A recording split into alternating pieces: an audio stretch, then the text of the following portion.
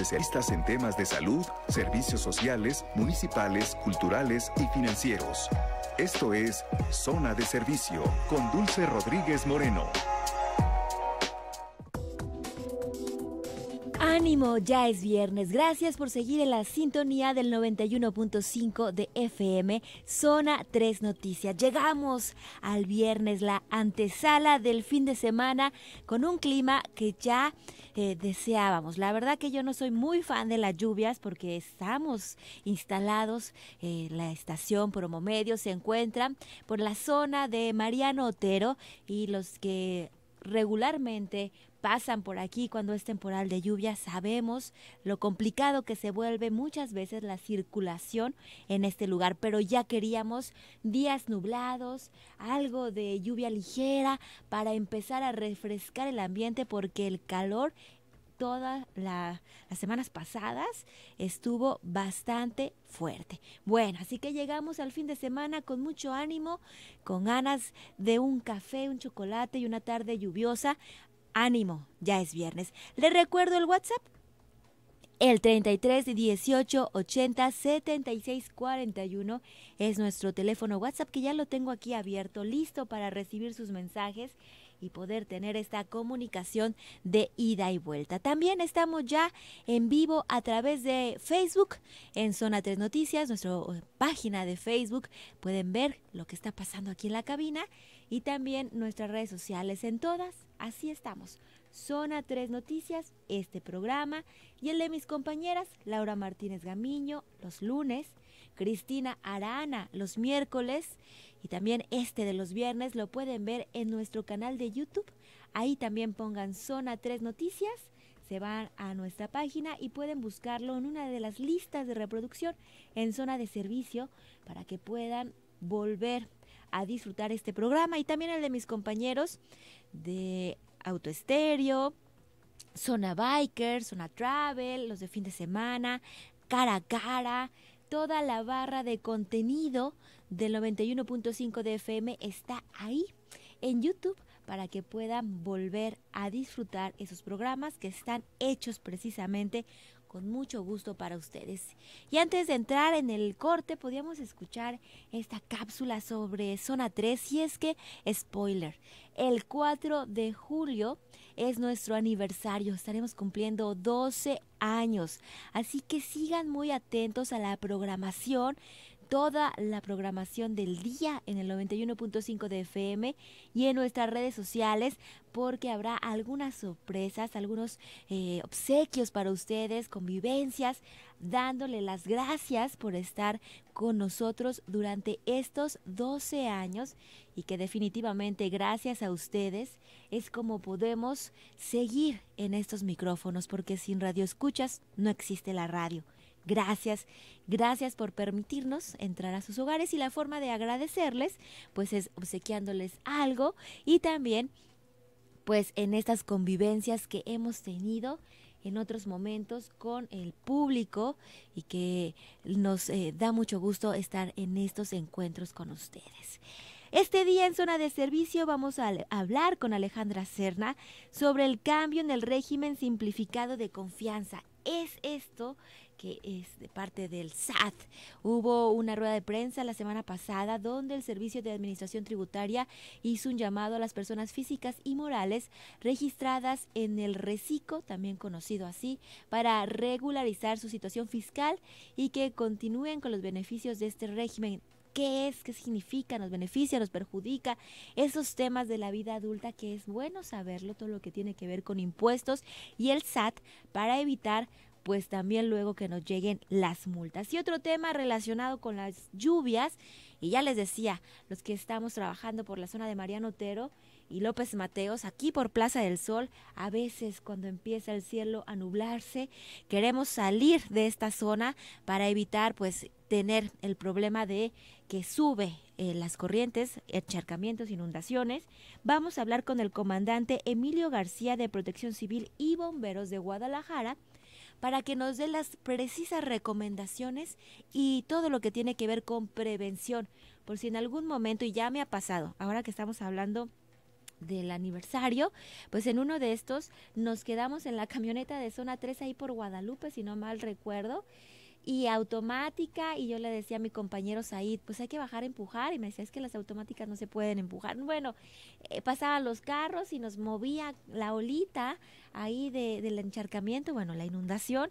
La verdad que uno empieza a tener temor de que pueda pasar y lo primero que yo creo es mantener la calma, pero es por eso que invitamos al comandante Emilio García para que nos diga, es dejar el carro, es salir, quedarse adentro, subirse al toldo, al techo del carro, qué es lo que nos recomiendan para evitar pues alguna tragedia, porque hay que recordar que hace unos años, si no recuerdo si son dos o tres, una persona en un puente, un paso a desnivel, se quedó ahí atrapado y lamentablemente la persona falleció.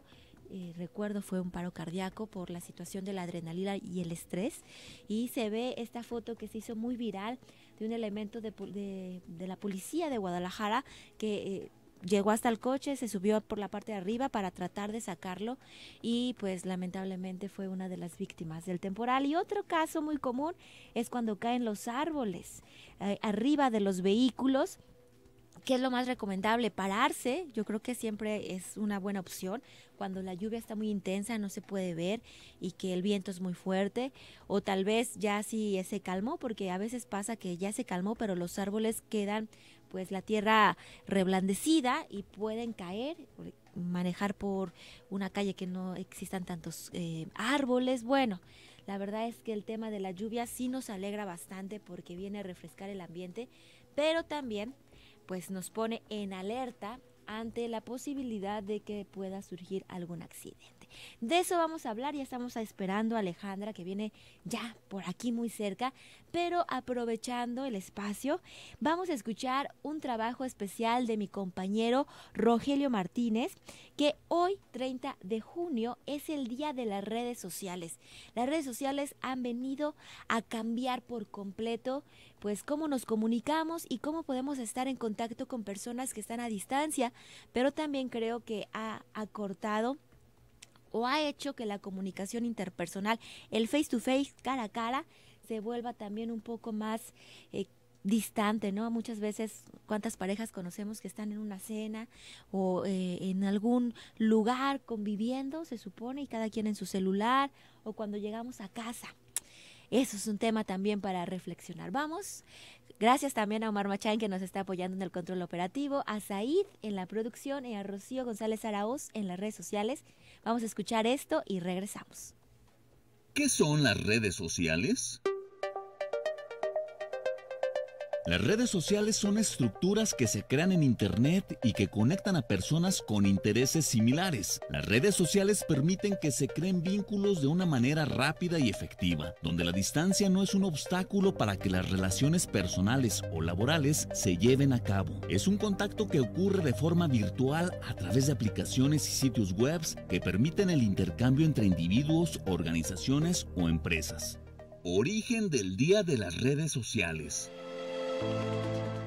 El Día de las Redes Sociales tiene su origen a partir del año 2010, gracias a una iniciativa del portal de noticias y tecnología Mashabu, y cuyo fundador es Pete Ashmore, quien así lo hizo saber, a raíz del tremendo auge que en los últimos años han tenido estas plataformas. Este reconocido empresario consideró necesario dedicar un día, el 30 de junio, para festejar un medio de comunicación que se ha transformado en una herramienta mundial para que millones de personas se mantengan informadas de forma rápida y veraz. Entre las más usadas y visitadas por los usuarios destacan Facebook.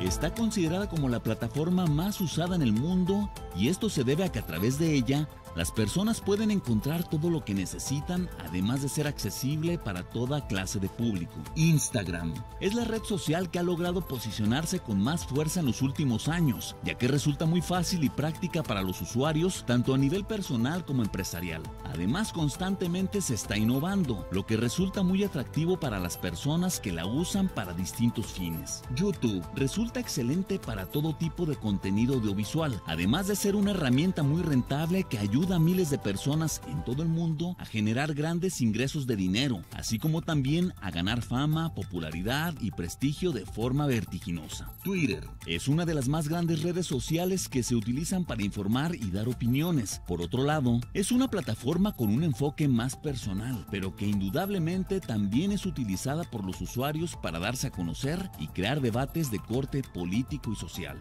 LinkedIn, una red social con amplia aceptación entre los distintos profesionales de todo el mundo y para la casa de talentos. Además es usada para las empresas para posicionar sus marcas, aumentar las ventas y hacer crecer cualquier tipo de negocio.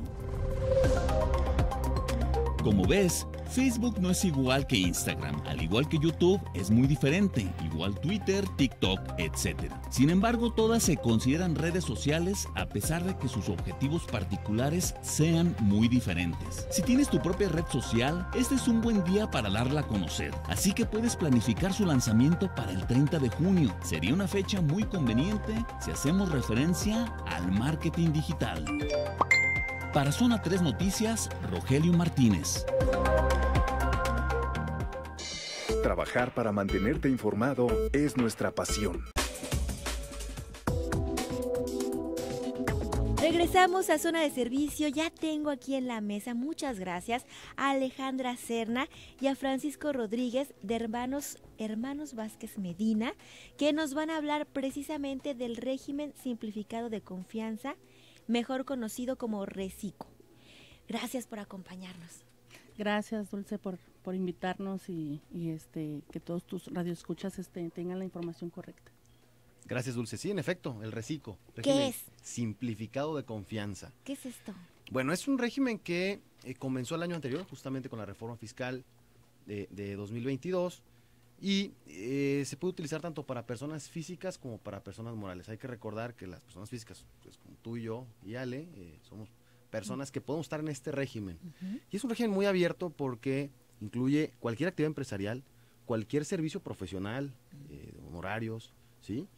cualquier actividad agropecuaria, en el tema del campo, agacipe que se llama anteriormente, y el tema de que también este puede ser compatible con el régimen de sueldos y de intereses.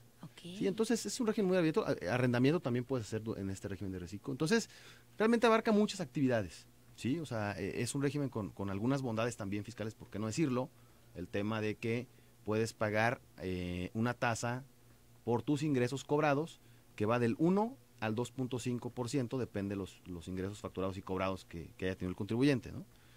Entonces, bueno, es, un régimen que, vale la pena, si alguien no, lo conoce, que lo conozca, para que pueda comenzar a tributar. Digamos, es el régimen de iniciación fiscal eh, que anteriormente era el REPECO, luego fue el RIF y ahora es el este régimen simplificado de confianza para las personas físicas. Entonces, vamos imaginando, yo me dedico a redes sociales, soy influencer, algo así, ¿no? ¿Puedo entrar en este régimen? Tal cual, claro que sí. Hay algunas restricciones nada más, eh, Dulce. En este caso es que no pertenezcas como socio a alguna, a, alguna empresa. O sea, que no, no seas socio de alguna empresa. Oye, tengo el 1% en este... Ya no, ya no entras. ¿Sí? Entonces, no, que no seas socio de, ninguna empresa y que eh, no rebasen tus ingresos en un año de 3.5 millones de pesos. ¿sí? Ojalá quisiéramos. Entonces, bueno, eh, pueden estar cualquier persona que, que, no rebase ese, ese, ese tope sumando todos sus ingresos. Y en cuanto a las personas morales.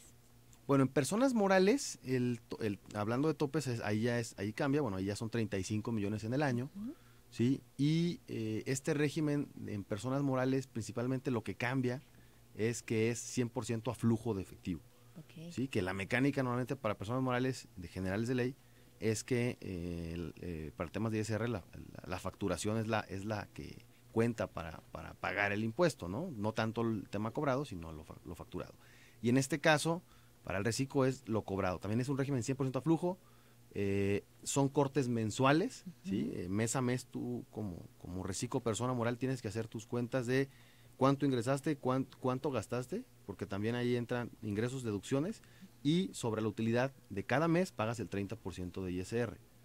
Digamos que es, es otra mecánica, eh, pero también es a flujo, 100% a flujo. Y entonces, esto, Francisco, tú como experto en el tema, ¿es bueno, es mejor, te facilita o que, o sea, por ejemplo, las personas que nos están escribiendo y dicen, ah, yo no me he sumado a ningún régimen, apenas voy a hablar con mi contador, bueno, ¿estaría bien, estará mal?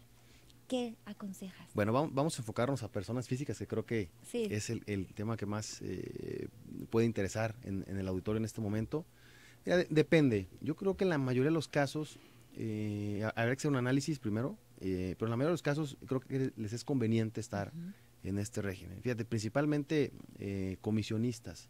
Ah, vendedores. vendedores. ¿Por qué? Eh, mira, ellos para conseguir deducciones, para conseguir gastos, me dicen, oye, ¿qué puedo meter si no? Pues son comisiones, o sea, realmente mis gastos, pues nomás, si acaso la gasolina y el teléfono. ¿Qué más? Entonces, imagínate, ellos tenían que pagar un 35% prácticamente de impuesto porque no tenían gastos. Comprobables. Comprobables, realmente, ¿no? Entonces, aquí eh, llega el reciclo y para la mecánica del ISR te dice, oye, nada más vas a pagarme del 1 al 2.5% máximo de tus ingresos facturados. Entonces a los comisionistas les cayó como anillo al dedo, ¿no? Eso sí hay que decirlo, ¿no? Eh, y bueno, de ahí, de ahí nos podemos ir haciendo un análisis por, por sector, por, por, eh, por, eh, profesión, por giro, y podemos encontrar que también, por ejemplo, el tema de los honorarios, pues también les ayuda bastante, ¿no? influencers, gente que que empieza a trabajar, este, que inicia eh, y que de repente no sabe, oye, puedo decir esto, no, pues no, quizás no tienen tanta eh, todavía eh, la cultura pues de, de, estar pidiendo factura en todos lados, ¿no? Entonces, para ellos les, les, les, viene bien este régimen de que, bueno, pues pagan una tasa efectiva máxima del 2.5 sobre sus ingresos para ISR, que quede claro, ¿eh? Porque la mecánica del IVA, pues esa es a flujo 100% y esa no ha, no ha cambiado y, y no, no, va a cambiar. O sea, es el IVA que cobras menos el IVA que, que pagas. Me imagino en este tema, por ejemplo, los freelance que luego eh, tengo en la mente el caso de los fotógrafos, que, ah, sí te contrato, pero necesito que me factures. Y entonces empiezan a ver que es necesario estar bien en estos temas del SAT, de los impuestos, tener todo en orden y empezar a buscar una forma que cumplan con sus obligaciones, pero que también no se vean tan afectados en el cobro de los impuestos, ¿no, Ale? Sí, además ahorita, eh, hoy en día ya no puedes estar sin un RFC, donde quiera te piden el RFC como clave.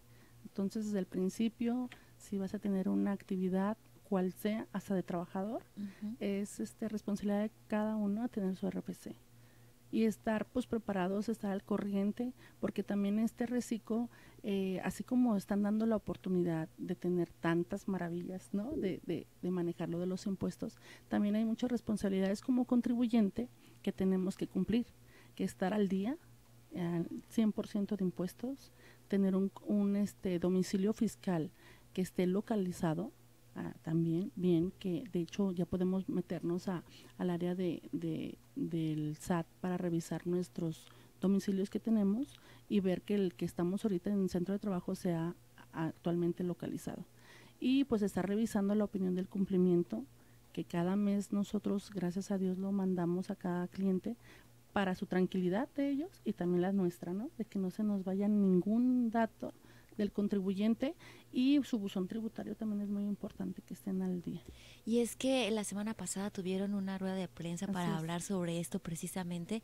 ¿Qué cambios vienen o, para qué fue esta? Precisamente era lo que te comentaba ahorita, de que ellos decían que, que hasta el buzón tributario, si no lo tienes activo, también va a ser algo, o sea, dices tú, ay, el buzón, que es significativo, ¿no?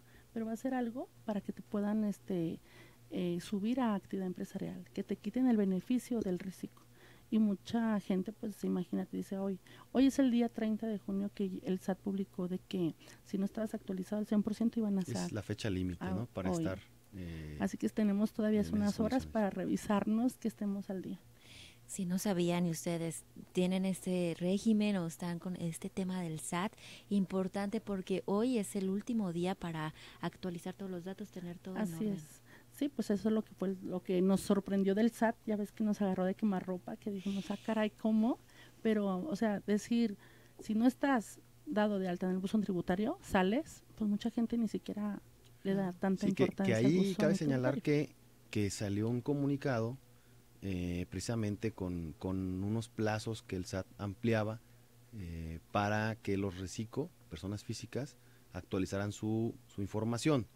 ¿Sí? ¿Qué, decía? Eh, nada más que de, repente, pues no, vamos, no llega a conocerse, ¿no? Entonces, ¿qué decía este, este comunicado? Bueno, que teníamos hasta el día 30, precisamente hasta hoy, fecha límite, para tener nuestro buzón tributario este, activo. ¿Qué es esto?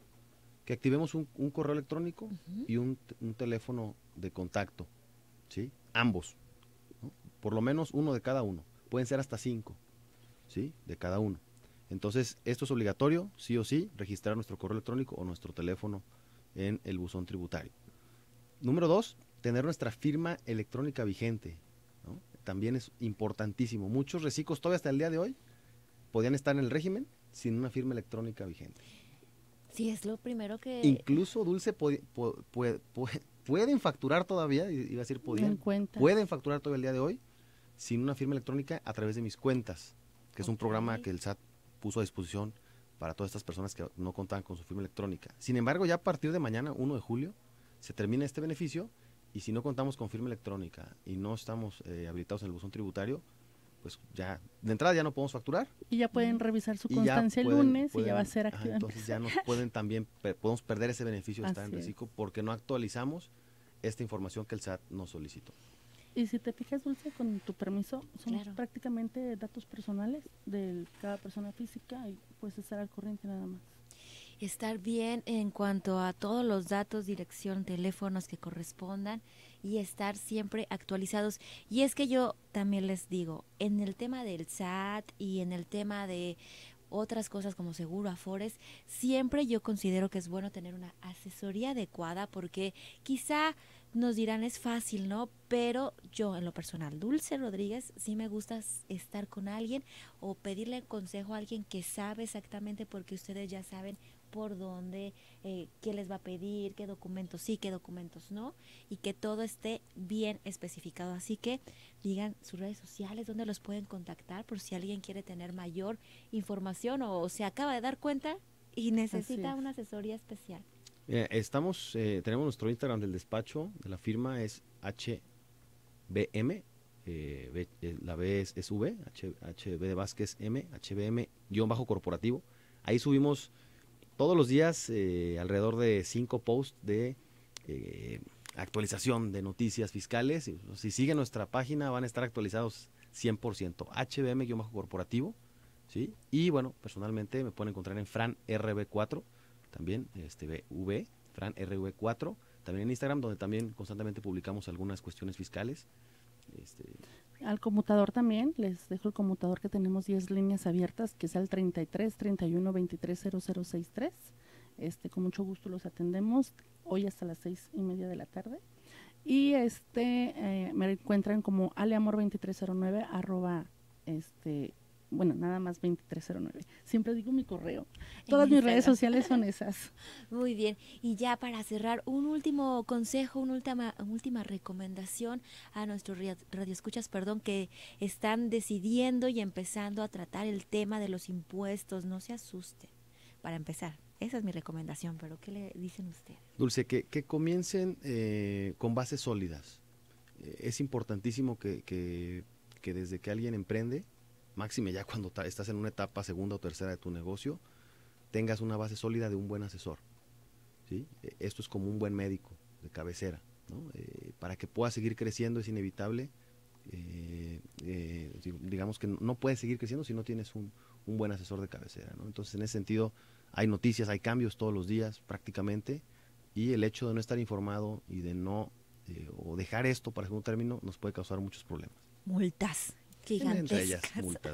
Muchísimas gracias. Estuvimos platicando con Alejandra Serna y Francisco Rodríguez de Hermanos Vázquez Medina.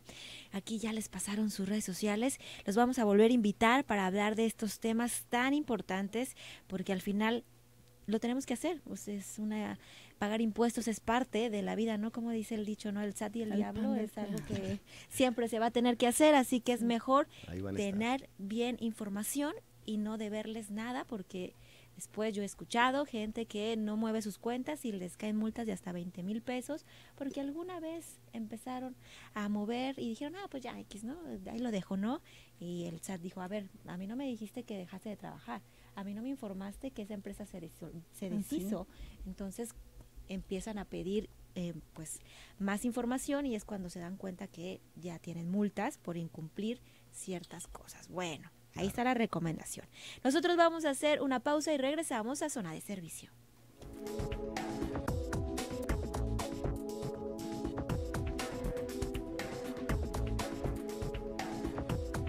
Regresamos a zona de servicio. Ya estamos aquí en la cabina con el comandante Emilio García de Protección Civil y Bomberos de Guadalajara, que nos eh, va a asesorar.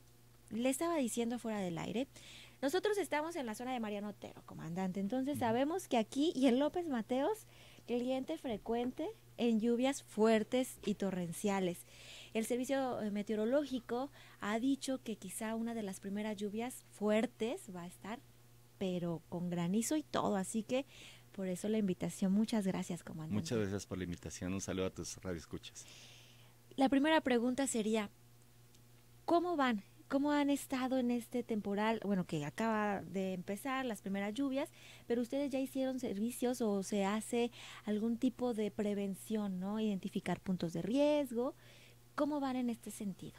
Bien, eh, esto ha sido un trabajo muy arduo por parte de las dependencias del Ayuntamiento de Guadalajara, incluyéndonos a nosotros, eh, en el cual hemos tenido desde hace ya ah, bastante tiempo, bastantes semanas, un trabajo preventivo muy fuerte. Se han hecho recorridos eh, identificando puntos de inundación, se han hecho algunas podas preventivas, se ha hecho sobre todo limpieza de muchos canales, de muchos vasos reguladores, arroyos y algunas afluentes que tenemos identificadas y también personal del CIAPA ya lleva algunos meses trabajando en limpieza de bocas de tormenta, eh, algunos, eh, algunas rejillas que ya tenían algo de asolve. Entonces se ha mantenido un, un, trabajo muy arduo. A pesar de ello, pues sí hay algunas zonas donde todavía tenemos alto riesgo de inundación, principalmente eh, por la infraestructura, por, por el, los años que tiene la infraestructura, aunado a la gran cantidad de agua que tenemos. Obviamente el agua va en aumento y no tanto porque llueva más, sino ha ido en aumento porque no tenemos puntos de absorción de agua, ¿no? Eh, las, las calles, pues, eh, lo que platicábamos en el municipio de Guadalajara, tenemos la mayoría de calles son calles ya de concreto o de asfalto, y esto, pues, hace que obviamente no exista, eh, sean impermeables, ¿no? No tenemos una absorción real del agua y esto genera pues la corrientes. Comandante, ¿cuáles son los puntos más frecuentes? Yo sé, Mariano Otero López Mateo, que son los más, los que me tocan, pero para que nuestros radioescuchas vayan ubicando, yo sé que la mayoría de los tapatíos que tenemos años aquí ya sabemos, pero ¿cuáles son? ¿Incrementaron? ¿Son los mismos? Mira, eh, en realidad los puntos de inundación ya los tenemos identificados por, por este, historia principalmente es eh, Colonia Aldean, Colonia Ferrocarril, la Colonia San Carlos, que también nos presenta varios problemas, eh, entre algunas otras colonias. Sin embargo, eh, las vialidades que más presentan este tipo de, afectación, pues tenemos identificadas las Cárdenas, 8 de julio, Gobernador Curiel, los pasos a desnivel de lo que es, toda la, calzada o, ya sea circunvalación Agustín Yáñez o Washington, los pasos a desnivel que tenemos en los diferentes cruces generalmente nos provocan algunos problemas. Y esto, bueno, tenemos varias causas, principalmente es la acumulación de repente de residuos que arrastra el agua, eh, la basura eh, y sobre todo los residuos de poda de, árboles. Estos nos generan eh, bloqueos totales a las rejillas, provocan que las bombas, los cárcamos que se encuentran en el punto no logren sacar el agua eh, y pues se nos sube rápidamente de nivel y, y, nos ha provocado en algunos años pasados hasta defunciones en el punto. Sí, recuerdo una, si no me equivoco, fue en el paso a desnivel de 8 de julio, ese señor que se quedó adentro del coche. Exactamente. Lamentable. Y ese es otro tema. Recuerdo también hace muchos años una persona, una mujer, y me acuerdo mucho de ese caso porque yo pasé por ahí, que le marcó a su esposo y le dije, me quedé, eh, aquí está el agua, eh", y él le dijo, súbete a la banqueta, voy por ti. Cuando él llega, ella estaba fallecida. De la impresión y el susto le dio un infarto. Mm. Mi pregunta viene a este caso, comandante. ¿Qué es lo que tengo que hacer? Yo pediría primero calma pero ¿qué, qué pasa? Ya estoy, llegó la corriente, ya no me, me atrapó, ¿qué hago? Muy bien. Eh, recordemos la principal eh, recomendación que podríamos dar. Si tienen alerta de lluvia, nosotros estamos eh, manejando por nuestras redes sociales alertas tempranas de lluvia y tenemos pronósticos de cada 12 horas de, de lluvia. Entonces es importante que ustedes estén bien alerta. Si se da un alertamiento de una lluvia en su zona, las recomendaciones no salgan. Si es necesario salir, ya sea porque pues sales del, del trabajo o tienes que salir, pues evitar los puntos de inundación que ya se tienen identificados. Si por algo ya te, te agarra medio camino la inundación, pues ahora sí eh, evitar a toda costa eh, que nuestro vehículo quede en el interior de, de la inundación, ¿no? del encharcamiento. Si tu vehículo ya queda, Se eh, apagó. se apagó, pues vamos a tratar de, de- de permanecer en el vehículo mientras pedimos ayuda. Esto es marcando el 911 y eh, rápidamente responderemos eh, para dar apoyo a, la- a las personas que se queden varadas. Sin embargo, si el nivel de agua empieza a aumentar, lo más recomendable es salir del vehículo y ah, colocarse en la parte alta del vehículo, ya sea toldo o cofre. Comandante, yo estoy en mi carro. ¿Y cuándo es cuando digo, ya, esto no va a pasar, esto ya es mucho? O Muy sea, bien. Está en la ventana, ya. Ya no veo la parte de adelante del carro. Así es. Eh, pues sería yo creo que ya cuando empecemos a, a- ya cubra la totalidad de la llanta, es momento de que ya tengamos que salir. Porque luego también se vuelve complicado abrir la puerta. Abrir la puerta exactamente y sobre todo si son vidrios eléctricos, de repente tenemos complicación para bajar los vidrios. Entonces, eh, digo, a lo mejor va a haber algunas afectaciones en el agua por nuestro vehículo, pero la primordialidad y, y lo que queremos es conservar nuestra vida, ¿no? Bueno, ese es un supuesto. En el supuesto que yo voy y en el carro traigo a mis hijos pequeños, en el carro traigo a mi mascota, una persona adulta mayor que no tiene la mayor movilidad, creo que también habría que hacer unas recomendaciones. Sí, eh, en estos casos, eh, pues sí tendríamos un, un problema eh, Más grande. más grande, más serio. Eh, aquí sería, en medida de lo posible, si no es posible sacarlo, pues permanecer en el vehículo y hacer, hacer este, señas para que el personal de, de protección civil y bomberos que vaya a auxiliarlo o, o el personal de comisaría, porque también se va a activar comisaría municipal de Guadalajara para, en caso de lluvia, apoyar a todas las personas que se encuentren varadas. Es un programa que se trae de a nivel, eh, pues todas las dependencias de gobierno municipal y pues estaremos al pendiente de, de dar respuesta rápida. Lo que sí nos interesa mucho es que hagan un reporte temprano de ello y no esperar a quizás que ya tengamos el agua a un nivel muy alto. Y antes de irnos al corte, yo ya estoy aquí, marco al 911, ¿qué es lo que tengo que decir? Estoy a- en tal calle, en tal punto, enfrente de mí hay esto, traigo un menor de edad, Así es. para que sepan cuál es la recomendación exacta y sea más fácil para ustedes. Sí, todos los pormenores, la ubicación, cruces, eh, algún punto de referencia, nos ayuda mucho a el color del vehículo, tipo de vehículo y obviamente cuántas personas están. En esto nosotros vemos también el, el tipo de recurso que despachamos para dar atención al servicio. Y también para que ustedes tengan la estrategia de decir, aquí ya me están reportando una, una persona, eh, un adulto mayor, un niño, vamos aquí, y acá me están rep- reportando otra cosa, y se coordinen para que sea Así lo es. más rápido y efectivo. Las lluvias ya se necesitaban, pero también es necesario prevenir. Vamos a hacer una pausa, comandante, y regresamos para hablar del tema de los árboles. Claro que sí. Regresamos después de esta pausa. Gracias. Desde temprano, al mediodía, antes de caer la noche, en cada instante estamos con...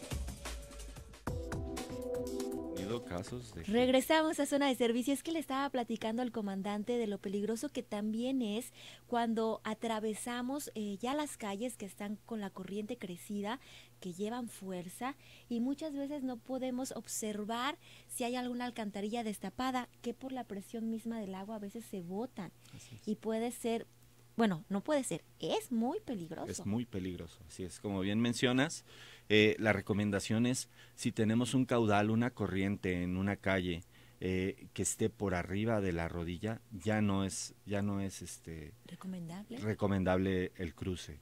Es muy fácil que perdamos el, el equilibrio, caigamos y nos arrastra el agua, como en algunos casos se ha presentado ya en, en la zona metropolitana, ¿no? Y, y algunos con, con resultados fatales.